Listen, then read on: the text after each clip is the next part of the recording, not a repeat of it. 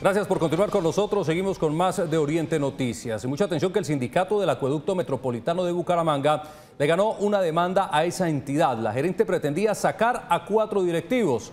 Esta vez el sindicato también aprovechó para denunciar la pretensión de privatizar la entidad. Pablo Vázquez, usted nos amplía esta información. Adelante.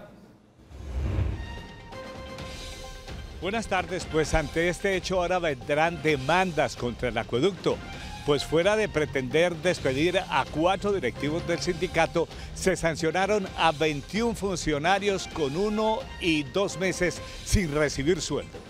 El Tribunal Administrativo de Santander Sala Laboral le dio la razón a los trabajadores ante la decisión de prescindir de los servicios de cuatro funcionarios que tienen fuero sindical, entre ellos el presidente. Todo porque realizaron una asamblea informativa de menos de media hora en defensa de los funcionarios que la gerente decidió cambiar por unos servidores externos para el servicio de recaudo de la empresa porque las cajas, que son trabajos permanentes de la empresa, fueron entregados a un tercero, como es Copenesa, y no fue consultado con el sindicato y esos cargos están pactados en convención colectiva.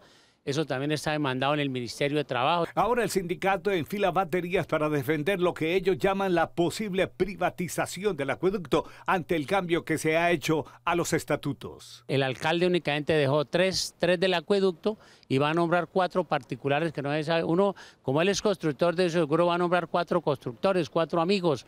Entonces es un problema que va a caer el acueducto en manos de privados porque van a ser los mayoritarios.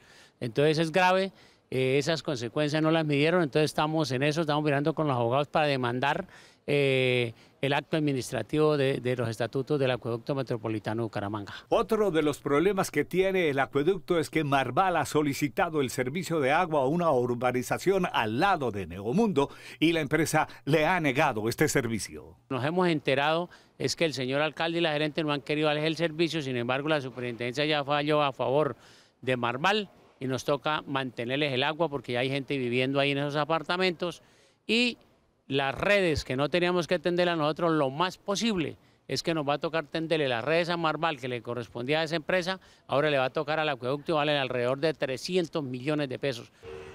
Pero hay más. Se colocaron 16 contadores a los locales ubicados en el intercambiador de la carrera 15 con carrera 16 sin cumplir con los requisitos que exige la ley. Dice el sindicato que esta administración lo que deja es chicharrones. Información originada a esta hora. Continúen ustedes, compañeros, en estudio.